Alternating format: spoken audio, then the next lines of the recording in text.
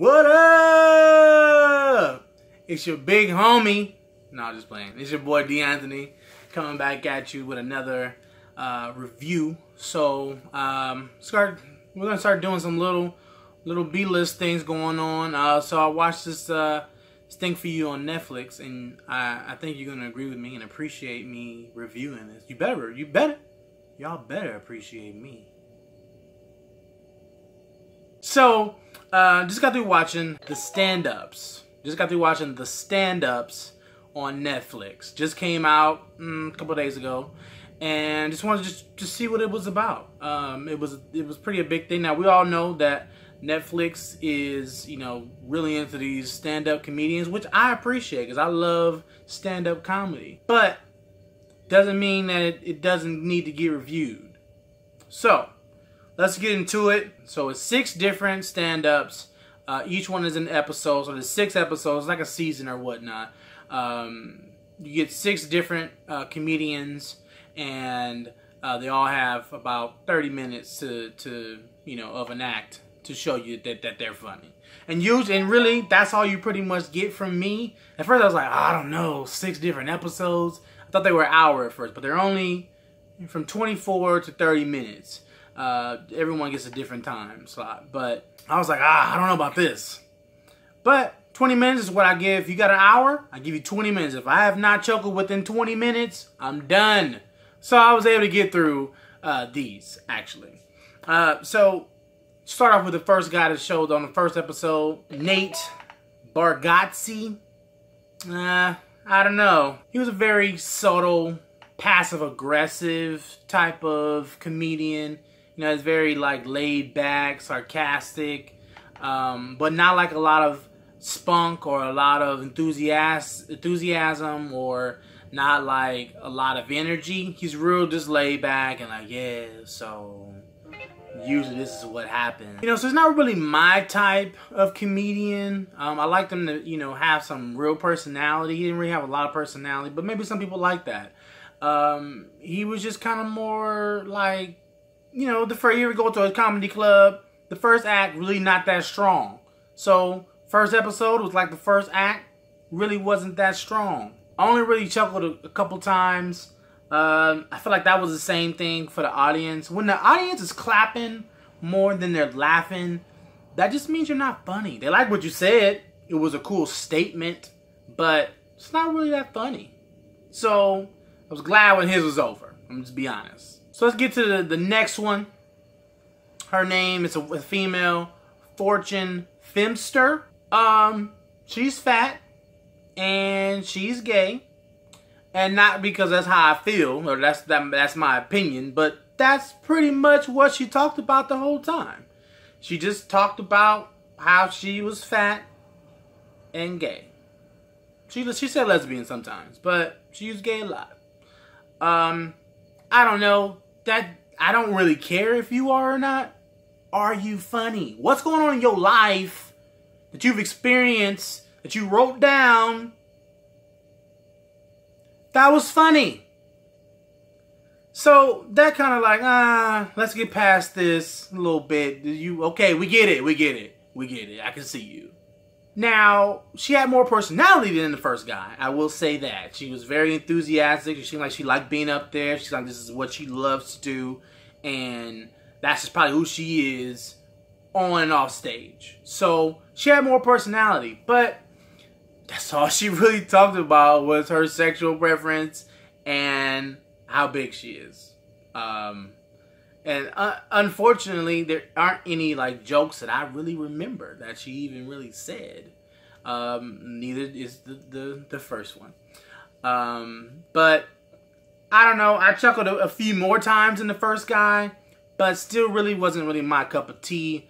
Uh, your sexual preference is not really funny to me. Like if got a guy out there talking about he's he's straight, I'm straight. I like women. Great guy, great. I'm glad you know who you are.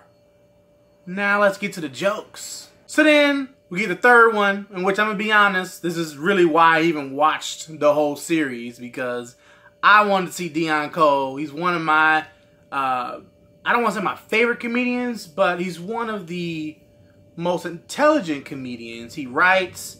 I uh, love him on um, Blackish. I really want to see that other show he's on. Uh, what's the name of that show? Oh, I can't think of it. He's on another show. Um, you know, he's a very intelligent comedian to me. To me, he says things that I would never think of, but are just funny. Uh, so I couldn't wait to see him. Um, and you know, he's a black guy. I'm the black guy. He's a black guy. I'm I'm I'm with you. Let's go. But to be honest, I liked his one hour stand up much better than this one. Um, to me, he did it just to get paid, to get a paycheck, and to work on some jokes. Because what he said was he had his little, that's what he does, his little spiel. So I'm going to run through some jokes and I'm going to see if they funny or not. Alright? Here we go. And he says a joke, and they're just like one liners, maybe two. And then either you laugh or you don't, and if you look around and say, all right, I'm not gonna use that. You know, that's that was his things. I feel like he just pretty much tested some jokes out and got paid. He didn't really have any stories. There wasn't like a story he was telling. It was just a bunch of jokes. And honestly, I like stories. I like to get captivated. Like, all right, where's the punchline at? Here it comes. Oh, did you hear that? That's what I like to get sucked in. It was just like one-liners that he was doing, and I mean they were cool. He was to me by far the funniest. But I didn't really laugh that hard either. I maybe laughed maybe a good two laughs. He had about 28 minutes. And um, I don't know. This wasn't his strongest, I would say. I feel like he's like I said, I feel like he just got paid and he tested out some jokes. And that's pretty that's pretty much that's all he really did. He told you that. So there you go. So then we got Nikki Glaser and she had good personality. I will say that. She was all, uh, enthusiastic. You know, she kept my attention. Uh, but she really seemed like a newbie. She didn't seem like she should be the fourth one on the card. Uh, I I think the newbie should go first because and this is how I, I, consider someone a newbie or someone who just doesn't really care about their craft too much is if all they talk about is especially if it's a especially if it's a woman uh, but guys too but if all they talk about is is is pussy and vagina and titties and uh, farts and stuff like that. Like, ah, I mean, sure. You know, she talked about farts. I know women fart. That's a thing. I'm not tripping. But that's not really funny, you know? Like, I don't know. I just don't want to hear about that type of stuff. I, it's just not, to me, as I like to think of myself as an intelligent guy, y'all might not think so, but I am. I know some stuff. I know a lot about a lot. Or do I know a little about a lot? I'm gonna go with a lot about a lot. And I just like, I like to be, in, you know, captivated when I'm listening. I want to hear what's going on. How is this story any different from anyone else? And just, you know, talk about vaginas and farts is not really funny. Kind of like the reason why Ghostbusters, the new Ghostbusters wasn't funny. All women cast, they're all funny in their own right, but what they had as far as the script was just kind of garbage. A lot of lot of uh, fart noises and you know genital type of comedy, and I'm like ah, that's for kids. I mean that's kids think that's funny. You know, you talk about your body parts, that's funny to them. But I'm a grown ass man. I know what body parts do. It's not funny. Um, so she seemed like a newbie to me yeah, I mean she's talked. I mean she's talked about tampons and farts and pussy and all. I'm like ah. So at this point, I'm four comedians in. I've chuckled a few times. I've laughed a couple, but now we're talking about two hours. So I'm done. There's no need for me to see the last two. I'm just be honest. So if you're curious about the last two, go ahead and watch it. But as far as a whole, I'm good. I really don't even know where they found these people at, except for Deon Cole. Um, but to me, they just weren't funny. They weren't, to me, weren't ready for something like this. But it's cool. I appreciate Netflix for giving people opportunities. I don't want them to take the opportunities away. Um, but I think you need to have some better comedians with better material in there, as as well as the newbies. as well as the newbies get them an opportunity. But a lot of these just seem like cats that was just kind of newbies, and to me, just wasn't the comedy that I'm used to.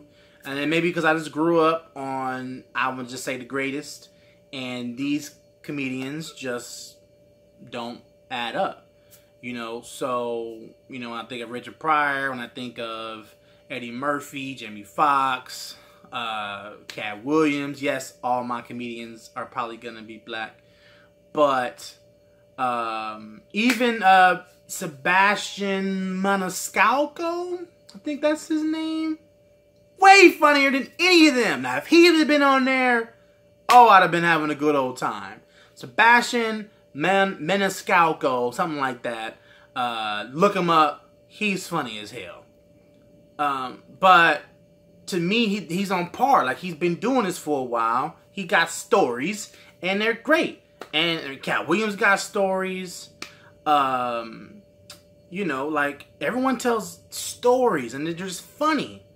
They're not telling jokes, and I don't want. I mean, jokes is cool. That's why I didn't really like Deon Coles too much. Like jokes is cool, but I want to tell me your story. Tell me your hurt. Tell me your pain. You know, let me let's laugh about something that we both can experience, that we both have gone through. You know what I'm saying? Like, I don't know. Uh, even George Carlin, I thought he was a, a great, intelligent uh, comedian, and I don't really uh, believe in the stuff he believes in, but I thought he was a great comedian. You know, so when I think of greats, white or black, I don't think of these people. So if that's what you're looking for, now maybe, now I will say this. If you're high, this is going to be the funniest shit ever. Because I've done that. But if you're not and you're sober, uh, this is not to be for you. You probably to turn it off. So that's my review, guys, of the stand-ups. They should have been sitting down, watching some real stand-ups but that's just my opinion. Uh, so please go ahead and like, share, subscribe, and comment. I want to know who's your favorite comedian because who would you or who haven't you seen that you would like to see? Uh, let me know, guys. Check out our other stuff on our, on our page. Check out our movie reviews. And uh, I will see you guys next time. All right. I'm your boy, D'Anthony. I'm out. Peace.